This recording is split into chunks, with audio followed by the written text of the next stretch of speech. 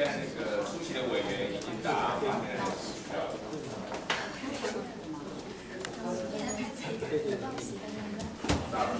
好，各位，那等一下你稍后会到，那我们是不是先开始今天的？对，那我们先宣读上一次会议记录。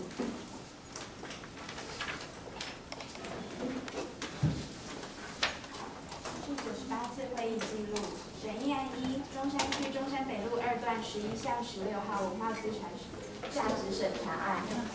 结论：本案中山区中山北路十一巷二段十一巷十六号建物，自启动文化资产价值审查程序起，出席本案会刊委员之审查意见，部分勾选具文化资产之历史建筑建筑价值，部分勾选不具文化资产价值。并无委员勾选具文化资产之独立价值。经本次会议讨论，出席委员就本案是否具前述委员所提文化资产之历史价值、历史建筑价值仍无共识，原此以不记名方式投票表决。三，本次出席委员计十二人，出席人数达委员会人数二分之一以上，经出席委员投票表决。八八票不同意，四票同意，同意票数未达出席委员人数三分之二以上，故本案决议中山区中山北路二段十一巷十六号建物不具文化资产价值，不指定古迹，不登录历史建筑、纪念建筑。四，本建物不具文化文文资身份，建议本案都市更新实施者，可参考本府都市发展局意见，以设计手法整合新旧立面，循都市更新程序办理。案二，大安区温州街二十二巷四号文化资产价值审查案。结论：本建物提报至今，依提报人等多方搜集之资料，已有文字价值之新发现，故本案已不适合以一时、一地、一人、一事等单一因素、单一个人或单一建物来之价值来评断。建议本案直接由文化部为国定古迹之审议。倘文化部认为该建物不具文化文资价值或不愿审议，再由本会依程序进行讨论。以上。上次的会议，各位委员有没有要提出更改的意见？好，那我们预备场。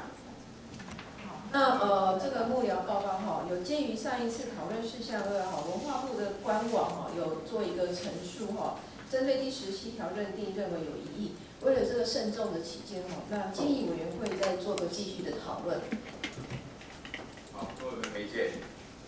好，那我们进行上次那个延续上次的好，另外一件事情也要请请呃跟大会跟主席跟委员做个报告哈，因为今天呃我们这个第一案审议案一。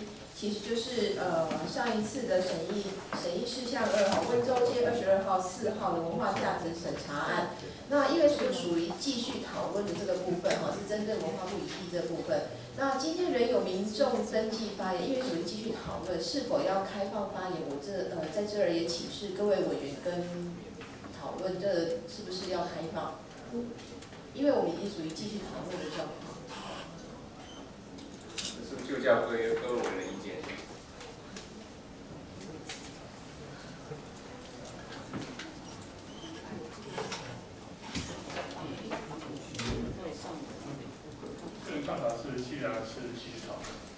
应该还是好的，好，那我们就继续开放民众凭登记的顺序来发言。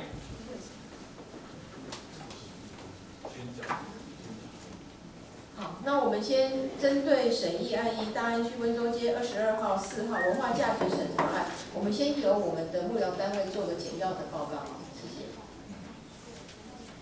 嗯。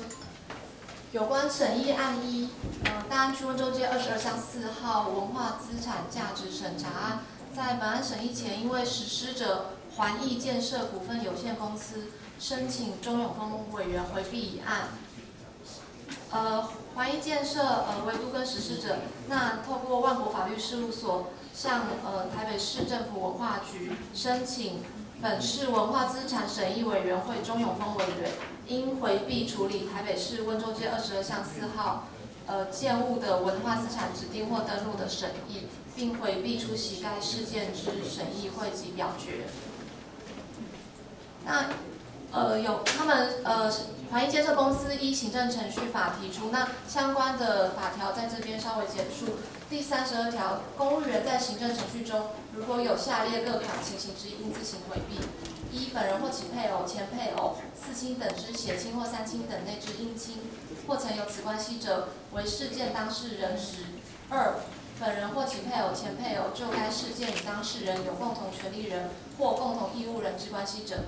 三、现为或成为该事件当事人之代理人、辅佐人者；四、于该事件成为证人、鉴定人者。呃，第三十三条，公务员有下列各款情形之一者，当事人得申请回避：一、有前条三十二条所定之情形而不自行回避者；二、有具体事实足认其执行职务有偏颇之余者。环艺建设股份有限公司呃提出三十三条第二项。那文化局的说明。钟永峰委员于一零六年十月十八日第九十八次本市文资会会议上所提建议，系依提报人等多方搜集之资料，认已有文资价值之新发现所提建议。该段发言仅为本案进入审议程序后，单一文资委员基于委员身份，就本案未来可能方向所为之建议，是否可采，依法仍需交由文资会。以讨论及合议方式做成最终决定，并非文资会或主管机关之决定。会议当日，周永峰委员所提建议获主席同意，决议时现场委员亦无异议。文化局并非土地开发单位，本案亦非公办都更案件。周永峰委员与本审议案并无任何利害关系。综上，周永峰委员无行政程序法第三十三条第二项所述情形。故出席本审议案之审议会及表决，并无异议。以上。好，各位对我们针对这个提议所所提出的这个这个解释，各位有没有有没有其他的意见？好，那我们继续进行。审议一。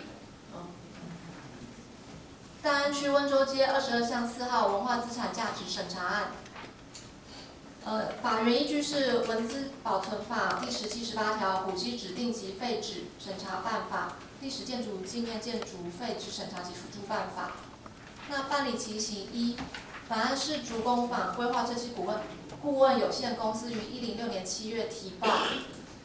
本局于一零六年七月二十四日办理列册审查会刊，当日因故委员无法进入室内现刊，且考量本次提报人是以于大伟故居为由提报，未求审慎，本局将择日再办理现刊。二本建物业经九十五年文资会审议决议，不指定古迹及不登录历史建筑，为本局考量本建物坐落土地与周边四笔土地，已完成都市更新相关程序。已于一零六年六月二十二日取得建造，本局施依职权发动文化资产价值审查程序。三，本局于一零六年九月一日办理大安区温州街二十二巷四号文化资产价值审查专案小组会刊，会刊以后，本局立致函国防部与台大，呃，提供温州街二十二巷四号配注情形等资料，回函内容摘要如下：国防部回函。于前部长于民国四三年至五十三年任职国防部长期间，与胞妹于大才教授同住温州街台大所配宿舍。民国五十五年居住新生南路一段一百六十一巷三十二号。台湾大学回复：民国四十年一月配住于外文系于大才教授，七十九年于大才教授过世后收回。八十二年配住农学院徐文副教授迄今。另查本件物，台大并无与国防部交换宿舍使用。及于大伟先生的配注记录。五，本案一零六年十月十八日提送本市文化资产审议委员会第九十八次会议审议。结论：本件物提报至今，依提报人等多方搜集资料，已有文资价值之新发现，故本案已不适合以一时、一地、一人、一事等单一因素、单一个人或单一建物之价值来评断。建议本案直接由文化部为国定古迹之审议，倘文化部认为该建物不具文字价值或不愿审议，再由本会依程序进行讨论。那本次的审议，这是一一零六年十月十八日第九十八次文资会会议结论及多方搜集资料后文字价值之新发现，续行讨论。后续七，为了解于大为居住历程，本局函请大安区户政事务所提供于大为先生户籍资料。依该所提供的资料，于大为先生于民国四十三年迁入温州街二十二巷四号，至民国七十一年迁入新生南路一段一百六十一巷三十二号。八依古迹指定及废止审查办法第二条规定，古迹之指定应符合下列基准之一：一、具高度历史、艺术或科学价值者；二、表现各时代营造技术流派特色者。三、具稀少性、不易再现者，国定古迹之指定基准，细则前向于指定之古迹中较具重要、保存完整并为各时代或某类型之典范者。有关温州街二十二巷四号建物之价值说明如下：第一点，该建物兴建于日治时期，依提报人提供资讯。第一任屋主为台北帝国大学士两男授男教授，国民政府迁台后，台大教授于大才、国防部长于大为、台大教授许文富先后居住于此。文化部亦表示，于大为弟弟戏曲专家于大刚先生，当年亦曾邀请包括林怀民、郭小庄、蒋勋、李昂等艺文人士，经常至此处聚会。此建物亦是台北市重要的文化沙龙，对台湾文化史有重要意义，符合前拍办法第二条第一项指定基准。第二点，姚文智立法委员表示，后期新增改建的建物是当年市卫所建之门楼或瞭望塔，在台北市市区内具有此功能的建筑物较为少见，符合第二条第二项指定基准。三。本栋日式建筑前后院多年来居住者加种果树、亚历山大椰子、桂花等多种植栽，绿资源完整，且非单纯日式庭园形式，实为台日式混合，表现出居住者对其住宅庭园的关爱与照顾，在今日大楼林立的城市中实不可多得，符合第二条第三项指定基准。第四点，本建物已不适合以一时一地、一人一事等单一因素。单一个人或单一建物之价值来评断，除跨越三四个不同时代，且居住过如此多位重要名人，足见本建物具有高度的历史及文化资产价值，符合第二条第一项指定基准。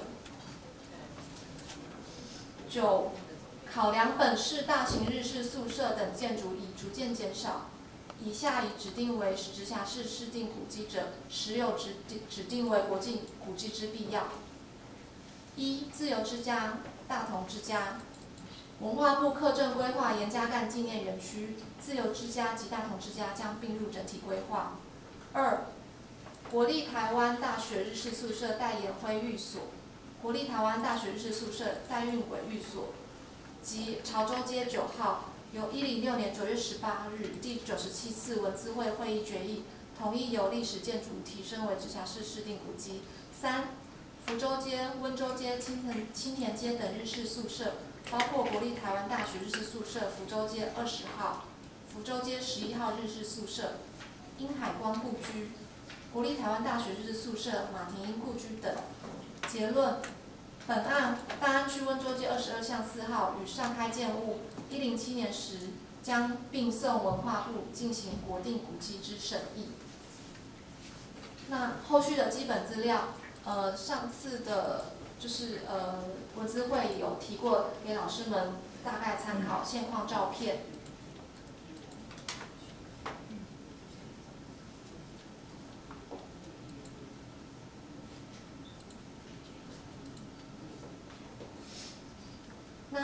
请本委员会审议，并依审议决议办理后续。好，各位对以上陈述跟后续的拟办有没有指教？没有的话，我们就请呃民众跟单位依据发言顺序登记发言顺序来发言。好，我们先由陈情登记发言开始，每个人三分钟，三分钟一到，我们案例就由下一位呃，因为今天人数比较多哈，请大家掌握时掌握时间。第一位林恒慧。呃，我们提提报人在后，陈陈其人在先，先由陈其人先做发言，谢谢。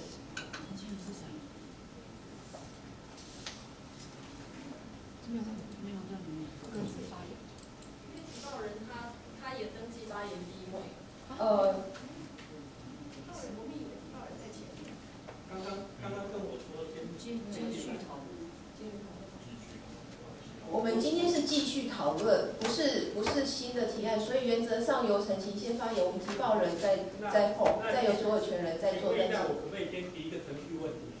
因为刚才我们在外面听到是，呃，这一次的，现在正在进行的是一个审议案的继续讨论。对，那我想提出一个程序问题，因为，呃，麻烦那个一样掌握五分钟哦对不起。谢谢。如果这样子，我们就这个五分钟。时间可以对，暂停吗？不行，抱歉，因为今天真的人数非常多，请掌握时间，谢谢。我从上次会议的逐字稿，讨论的逐字稿念给大家听。有一些委员，大家当当然经过一些讨论，具有国定古迹的价值，文化局主动提报给文资局作为国定古迹，然后文化局会将这些资市政及今天收集的资料，以文化局的角度，我们主动提报文化部进行审议。如果文化部对于呃执行有退回的时候，或者产生一些疑处理的时候，我们再进到我们的审议给予身份。这个是上上一次会议的逐字稿，所以我们知道接到公文之前，我们没有心理准备，还要来一次审议。我们的理解是，这么充分的讨论，审议的讨论已经结束了。价值也已经被确认了。那请问，为什么不能给予身份？一般的法院判决不会因为你的行政瑕疵改变结果。当然，我们知道文化部的不受理，当然不是因为价值讨论的问题嘛。所以呢，我对于今天这个讨论，我建请主席可以直接追认上一次审议的决议，给予赋予补正这个赋予制定古迹的价值身份，这是我的第一点。那是不是请呃主席这边回应一下等你发给我。？OK，好。那我的简报档麻烦一下，谢谢。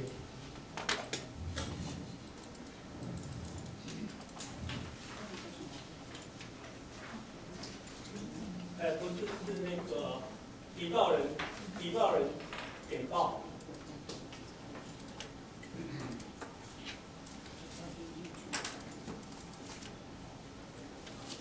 啊，不是，不是这个，是另外一个，对不起。比较时间比较新的，就这样，九点这个，不是那个，我刚刚才勾的，刚刚才勾的吗。这个吗？十一月十三号。啊，对这个，好，谢谢。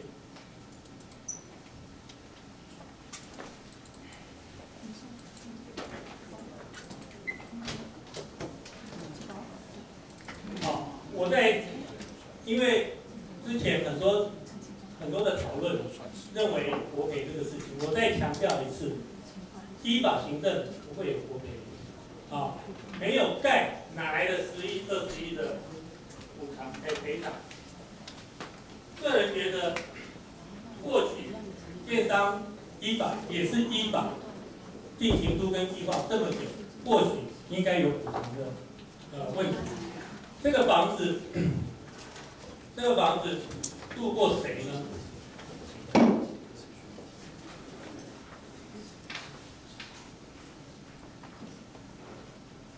呃，当然刚刚作业简报有提到，是梁寿南、于大凯、傅斯年跟徐大伟、于大刚，我们又找到于大刚也曾经住在这里，包括傅斯年的侄儿傅乐成也住在这里。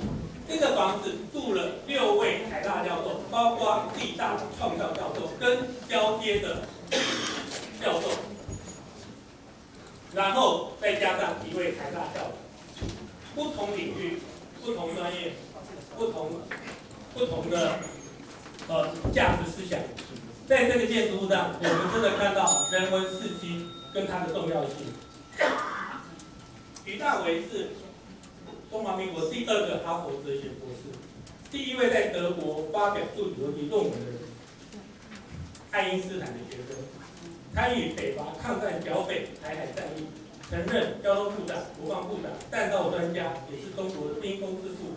美国魏德迈将军称其为现代尊子，史史普敦将军称他为中国的麦克阿瑟，我们后人称他为一代国士。我要说的是，另外一个非常难得的，也不会再发现、再再发生的。三位天才，麻烦点一点，点两页。三位天才：陈寅恪，史学大家；傅斯年跟于大伟，他们的生命关系都在这个屋子里面。为什么？他们有姻亲的关系。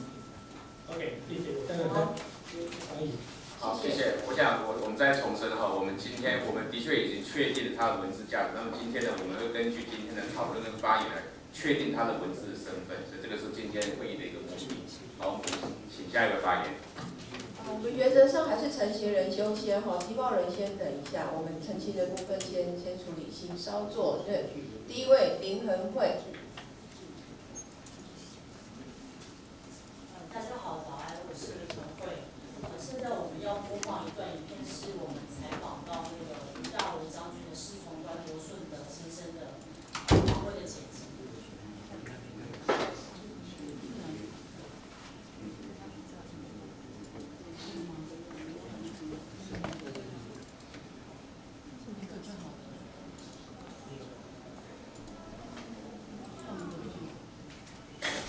什么什么什么公文？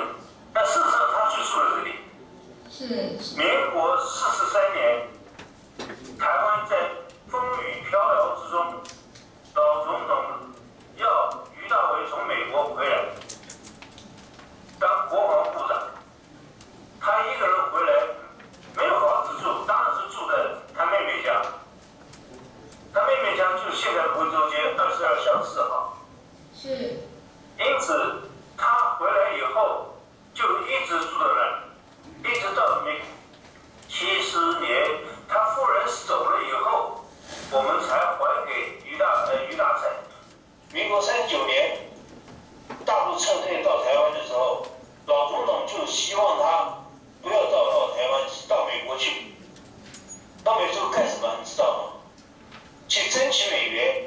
于大为是以。大使馆特别以顾维钧大使特别助理的名义去跟美国人交涉，五角大厦这个所有呃去争取美元。这后来，民国四三年九三炮战，台湾非常危急的时候，老总统要求于大为迅速返回。民国四三年。他到了以后，不久他就侦察大陆，大陆那时候的机场在盖，于大为知道，后来就跟老总统报告，老总统有一天就跟于大为说：“他说大为兄啊，他说啊，你个人事小，国家事大，你还是不要去去大陆侦察，呃，大危险。”于大为怎么说？你的命令我当然听，但是你说我愿不愿意？我不愿意。当时如果没有于大为的话，这国军怎么建立起来？各位想想看，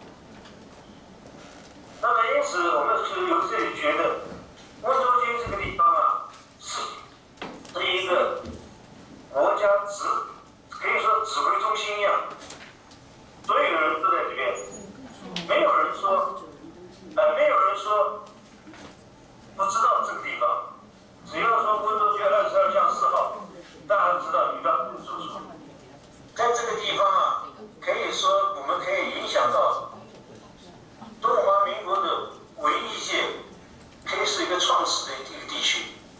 为什么我跟你讲？刘大文当了部长以后，这个海军有海光学学院，呃，学，这个艺术，这个戏剧学校。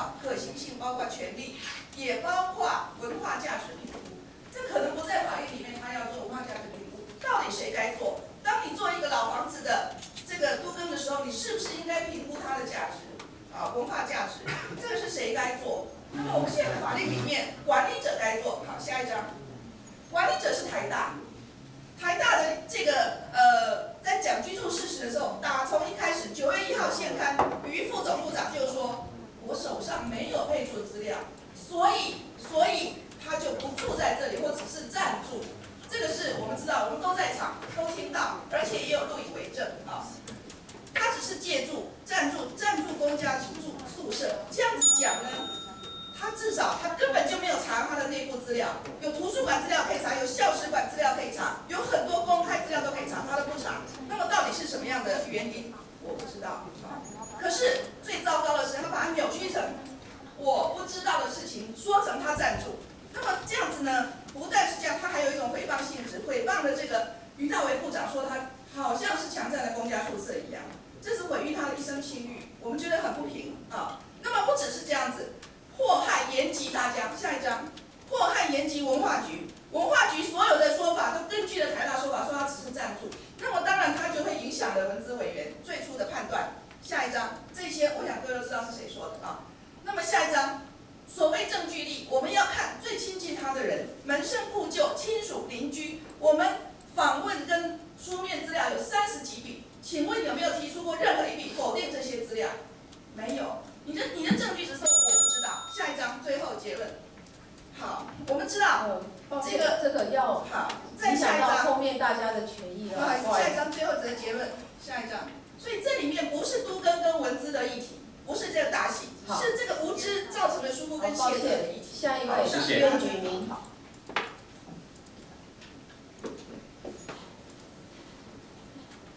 请掌握时间哦，三分钟已经唱名就开始计时了。好，大家好。好，那个啊，不好意思，因为我的呃投影片我的是用的 P P 的，里面要换一个地方蛮多，所以我在这边来向大家做个报告。好，这个时间就是啊，也就是说，今天我要谈说为什么于大为部啊于大为部长他的故居有这么重要的一个世界级的意义啊。我想尤其，但是我想大家都谈很多，刚刚黄老师谈很多，它的珍贵性在哪里？我现在谈谈说于大为故居对台大意义在哪里？为什么台大绝对不可以离开于大为故居啊？好，我们先谈啊，就建筑，因为我知道大学最重要的一个一个门一个学门就是叫做通识教育，那建筑就是包含了所有的通识啊教育的范畴，因为我们从建筑看到了几乎所有的一切人类的活动啊，我个人觉得环境是非常非常重要的啊，这样子，然后啊建筑虽然小，但是它是一个广角窗。啊，这个不是我，这是位叫内藤广教授他所讲的这句话。好，那我们再谈大学教育的核心在哪里？大学教育核心就是博雅教育。啊，我希望台大好好听听看，为什么博雅教育对台大乃至于台湾的未来它它这么重要？啊，啊，也就是说，它就训练我们一个软的实力啊，让我们可以面对一切一切的挑战啊，培养具有通识教通识知识的精髓的世界公民啊，这个。啊，这是别人说的啊，这我就讲非常有道理。啊，所以博雅教育的核心，也可以说就是一个通识的概念。好，那余部长故居它展示的教育精神在哪里？大家都谈很多了，呃，建筑文化啊非常多，它的教育精髓在哪？其实就简单两个字啊，就是一个连结啊。这两个字看起来不起眼，等一下我告诉大家为什么于部长故居它的连结意义这么重大啊，在全世界都是几乎绝无仅有的。好，博雅教育的目标刚巧也是连结。好，所以他们两个是一贯的。好，这是博雅教育的一篇文章，大家有空不妨看一看。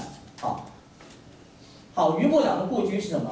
中国经学与西洋哲学合璧相辉。啊，然后它是军事界与学术界的一个光荣历史的象征。啊，是从清末民初到民国到民初学问家的一个思想脉络。啊，这是于部长的亲人。啊，然后这是傅斯年，我想大家都知道了，我就不容赘不容我赘述了。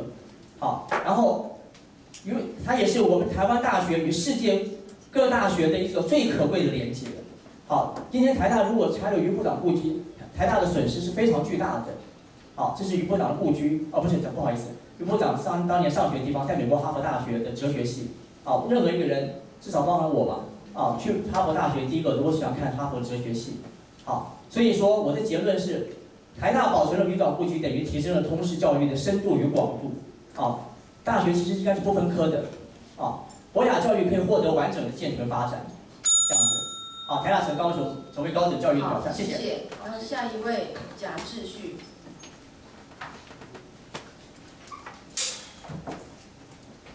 对不起，呃，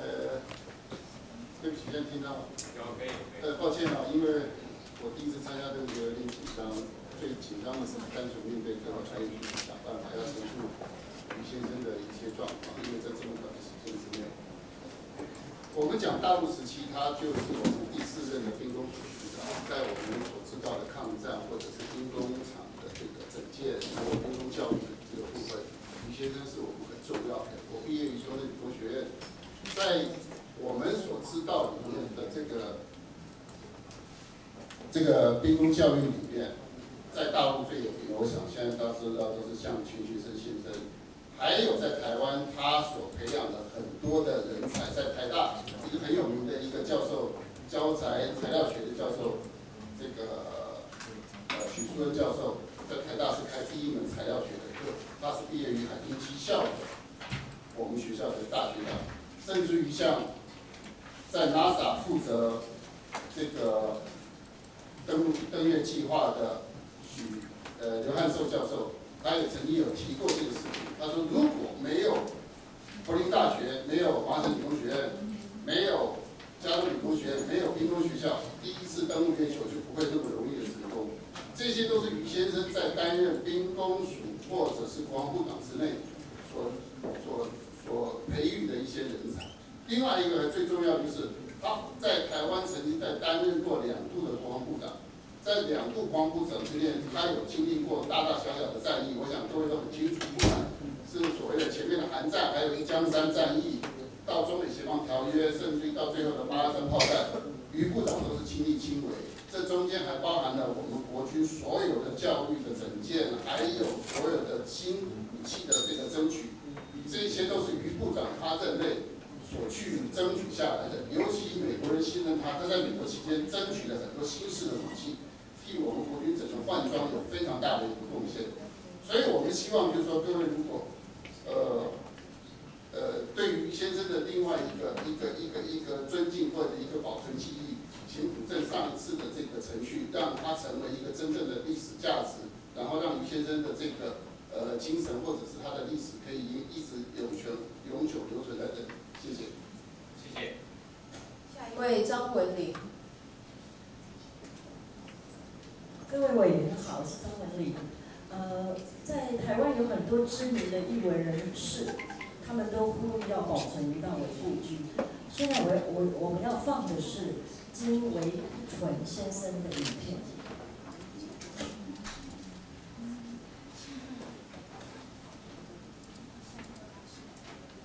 这个于氏家族真的是跟呃我们的近当代历史有有非常非常。深的渊源，大伟先生，他是那么重要的一个兵工弹道这个专家。这是一个文学家来着，历史家、文学家。蒋中正中对于大伟先生真的是言听计从，非常的尊重他。呃，很少有一位非军人出身的国防部长得到蒋中正总统如此。这样率真，这样自在，呃，他他有一种生命的能量，那个伪装不出来，他就是活成这个样子。就好像这是我的长辈啊，这是我的家人啊，他们什么都要管你啊，什么都要问的。哦，那我就接触到一部长，我看到了资料，跟我看到现场他住的那个房子的样子。我说起来，我是非常 surprise，然后他的他整个人跟那个房子是一致的，完全一致，就他那个人就是那个房子的样子。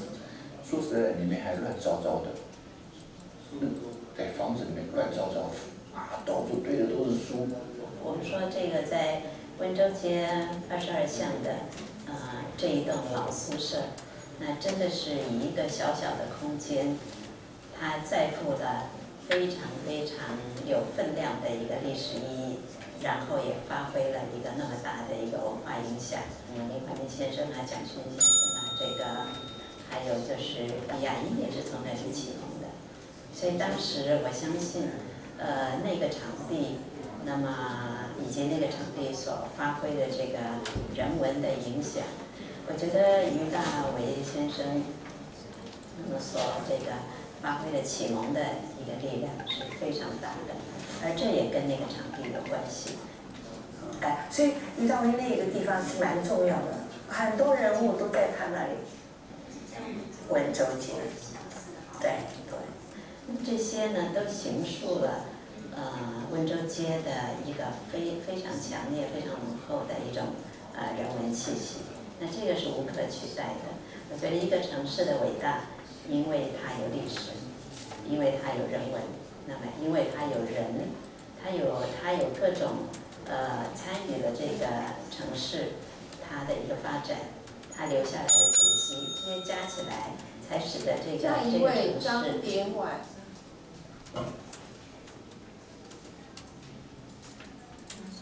谢谢各位委员。呃，我想刚刚看过的那么多名人，在所谓的保存里面，其实我们在这短短的几个月里面，也聚集了非常多的台湾，比方说白先勇、黄春明、林怀民、西松等等老师，这些得过文学大奖。然后这些所谓的文化大奖的人，他们极力希望能够保存这样的房子。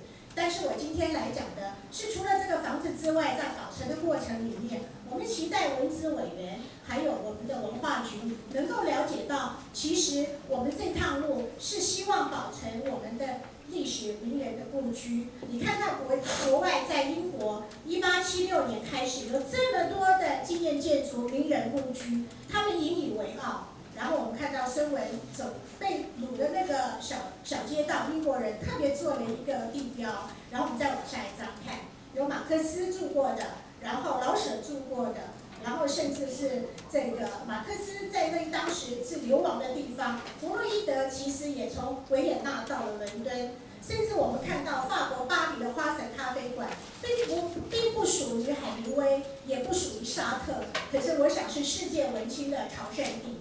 然后再下去，我们也看到日本，它有专门的文化财产的保存法，它不会因为这个财产、这个文化人是不是拥有过这个财产而去制定它，而是他曾经有过在这里的事实。我们看到夏目漱石，然后也看到太宰治，再下去，快，能不能再放下？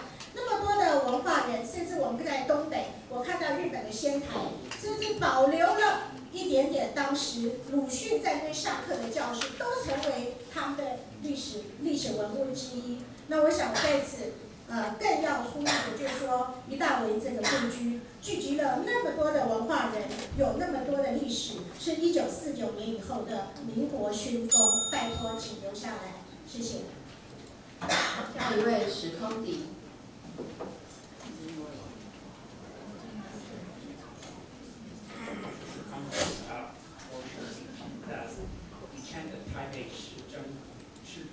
台北市，我是我是以前的台北市荣誉市民的啊，那个三十五年以前我住在那个地区的，呃，我我记得我非常记得那个那个楼，还有那个地方我有骑单车呃来回家，但是那时候我没有上到保护区，因为那时候我们没有权利呃那个。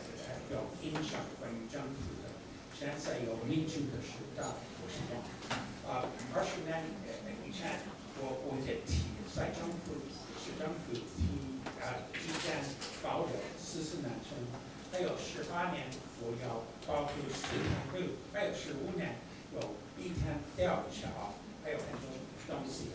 我想，呃，我想遇到会跟那个碧潭吊桥一样的。因为你们的时候，不，以前那个那时候那个他们要拆到碧潭吊桥的时候，那个那个礼拜那个游行的时候，哦，已经统一过了，不可以改变的法律。但是民主的国家没有规定的，人们可以退退改成那个呃规定的规矩的。所以我去那个立法院跟傅昆长新导员，我不是。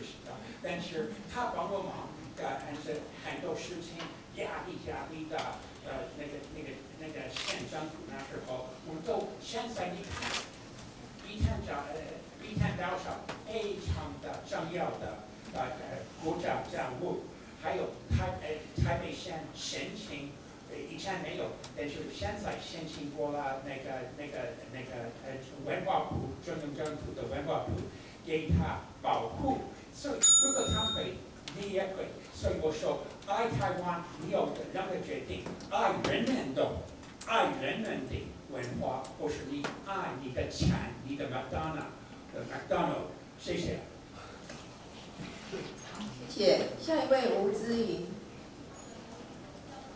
我刚刚看的那个史先生，他是一个外国人，但是我们的碧潭桥要一个外国人来保护，我们的紫藤庐要一个外国人来保护吗？我们这么重要的文字要让外国人来发声吗？我们有自己的英雄，我们的英雄是谁？于大伟。我们要去读林肯，别人的英雄吗？于大才、于大刚、傅斯年都是我们的英雄。我本来不认识于大伟，但是因为我念了于大伟传，我非常的非常的感动。于大伟说，他一生清廉，你如果有两块钱，你为什么不把一块钱分给别人？他是我们的国防部部长，有十年，但是那天有三个退役的人，我问他，你们认识于大伟吗？他说不认识。我心里非常非常的感到难过跟愤怒。为什么？我们的英雄，我们连我们的军人，我们都不知道于大为是谁。他是我们十年的国防部部长。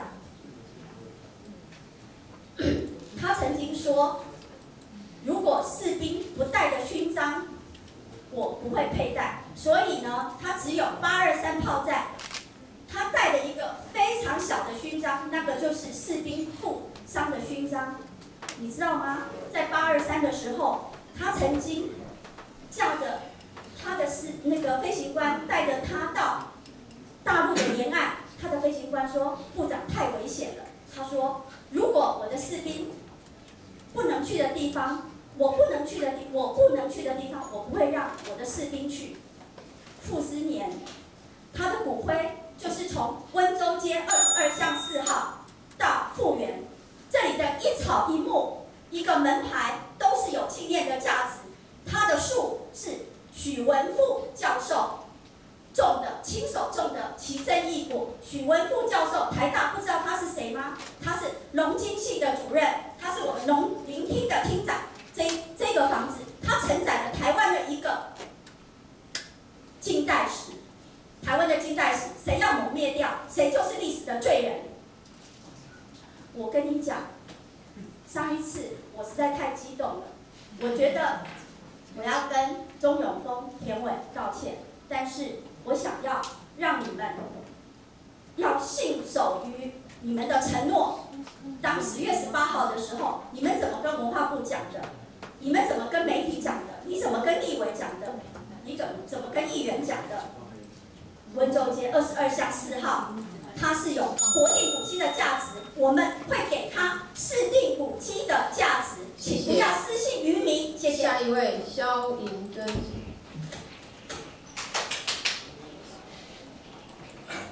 呃，大家好，我是肖银珍，这里是台北市哦，呃，我们不，我们今天之所以这么努力的在呼吁是，我们不希望台北市这么年纪轻轻就得了老年失智症，成为一个失忆的城市。我们我们刚刚看了那么多呃民众的发言，知道说余道伟故居确实就是承载了这么多历史。它光一个光一个不起眼的旧房子，它就可以连接到整个民国百年史跟余氏家族的百年史，然后牵牵动了农军啊文化界的这些所有的记忆啊，所以我们台湾曾经因为一党之师而掩盖了历史真相。我认为，包括于大为不是国民党身份这件事情，呃，让他在历史上消失于无形。我们也不希望这个城市因为一校之师或者一个公司之师，然后要去磨灭这个城市的良心跟记忆。啊，我们的文化良心，我们的城市记忆，我希望借由上一次会议的记录的结论，希望呃文化局或者在场主席能够当场裁定，我们就根据上次的那个会议记的结论，把它余道的故居定为市定古迹。谢谢大家。下一位，彭国浩。各位长官好。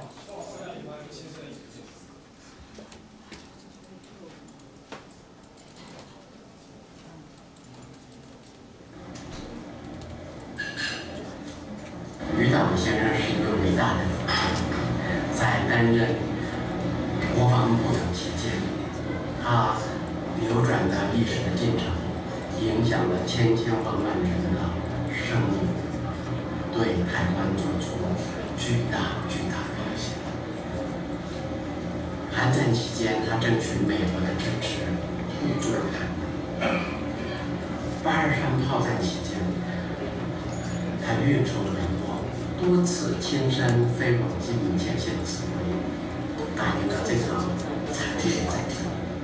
八二三炮战的胜利，开启了台湾往后五十九年的安定和繁荣。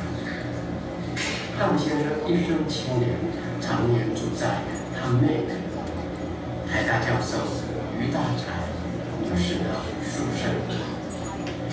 于大才女士是台大，是光复后台大第一任校长傅斯年的夫人。在百色恐怖期间，傅斯年校长强烈抗议军警非法进入校园逮捕台大的学生。他对彭梦吉说：“如果学生流血，我就给你批。”由于副校长的坚持，台大成为台湾民主运动的重要堡垒。而大伟先生才教授弟弟最喜的弟弟于大刚先生，是在六七十年代影响文化界最大最大的一个导师。大才先生和大刚先生当年指导的学生，今天都是台湾文化界的重要精英。温州街二十二项示好，是一位对台湾做出很大贡献的名将故居，也是六十年代文人聚集的一个地点。我在这里郑重的呼吁，保存白大武先生的故居，留下台湾历史。我是林欢迎。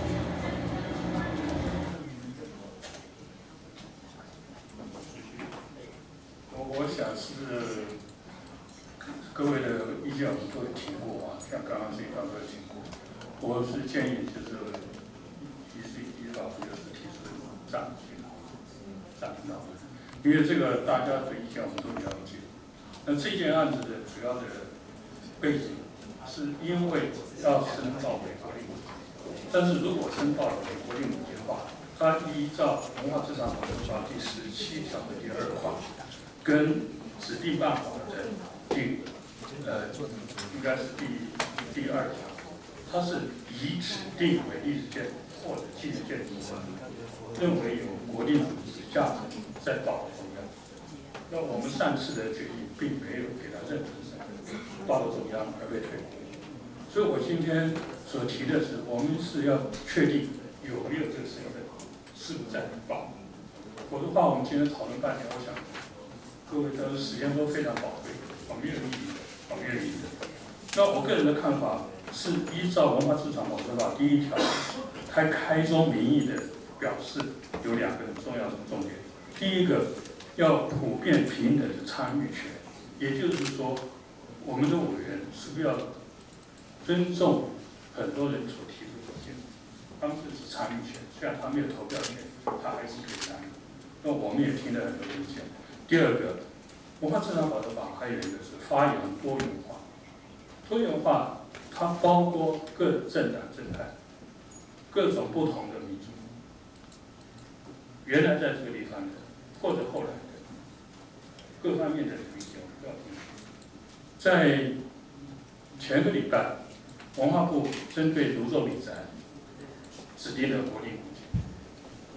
那泸州笔宅，我想严秋红女士也好。或者李家俊也好，他们是在白色恐怖受害者，有他的历史意义，所以他是纪念性建筑，也是历史建筑，现在变成国立古迹。那同样的，于大伟先生，他的事迹各位都听了很多。那这栋房子事实上是